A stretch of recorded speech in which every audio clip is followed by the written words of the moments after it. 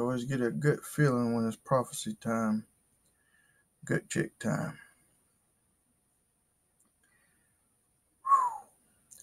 Um, as many of you know, those who don't despise prophecy that come across this channel, um,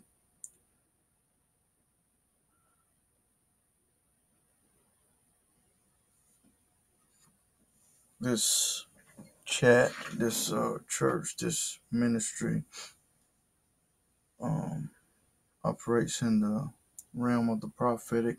Well, I want to tell you that Bear with me. I'm having a moment getting going here.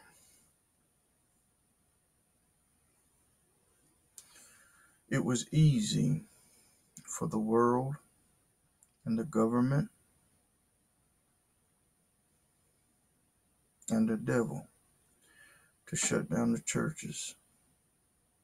It's almost scary, actually, how how easy it was that the church just fell in line, each and every church, and closed their doors gently. Uh,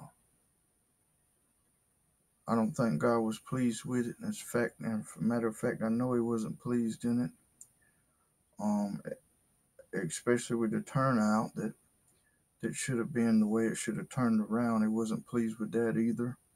He wasn't pleased with the spiritual leaders. He wasn't pleased with the uh, other believers.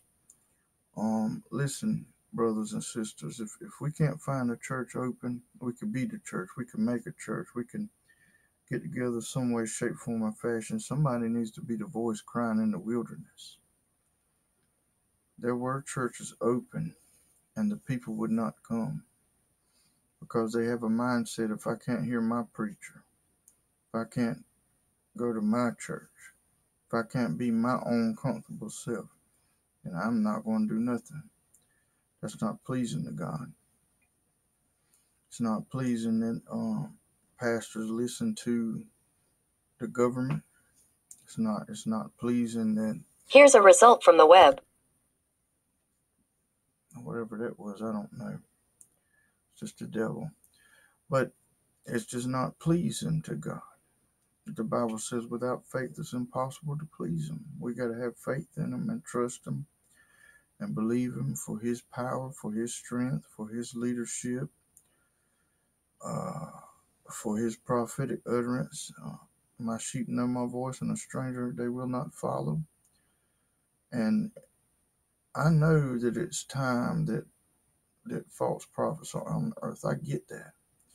But at the same time, if the Holy Ghost is in you and the Holy Ghost is in the church and the Holy Ghost is really moving in a certain church or a certain uh, preacher, and, and likewise in another preacher, there's no reason that the two can't come together and have joint services. And there's no reason that God can't use one at one time and another at another time. There's no reason that the world can't turn to God and have a full out blown revival, other than the fact that pride and fear and a lot of other problems that need to be let go in the church are there in the church.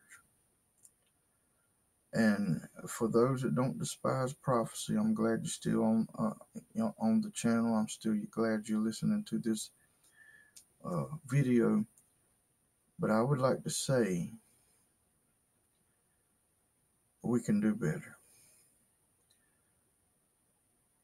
it was almost embarrassing to watch how many churches closed the doors because such and such said so. Do you understand, brothers and sisters? Let me speak to the Republicans first.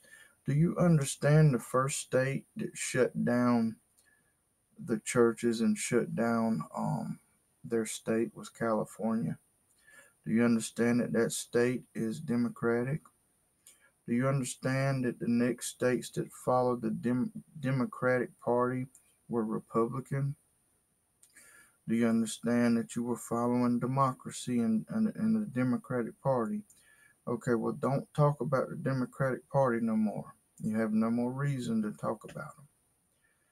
Okay, because you followed them. You followed them in their footsteps. The first, the first, and don't talk about Hollywood no more neither because y'all followed Hollywood They stayed at home. They said they stayed at home. You follow them. We have no reason to talk about Hollywood, California, or the Democrats anymore when we followed right behind them and did everything they asked us to do and they told us to do. We followed them. And God is saying something else and we're not listening. I don't mean to be no disrespect, but but this is gut check time, and I'm telling you, and I'm humbly, humbly saying it, that we can do better. We got to do better. If the church is going to survive, we have to be the backbone. We have to be strong. I hope this makes sense to somebody. If it reaches one person and they have a train of thought or a change of mind, praise God on this Passover morning. It is now Saturday, 1.50 in the morning, and many are asleep, and I'm still up watching and waiting and doing the Lord's work. Amen. Be blessed, be strong, have faith, carry on. If you don't know Jesus as your personal Lord and Savior, please come to know him and be a voice crying out for him. Be a voice outside the church crying in the wilderness. Prepare ye the way of the Lord. Make your crooked path straight. The Lord is soon to come. He's about to return on planet Earth, and will he find any faith? Is there going to be any faith left? Is there going to be any church doors open? Or were they stand in the pulpit saying, Where's the promise of his coming? We shall see. Salute you, brothers and sisters, and all you do. Amen. Amen. Amen.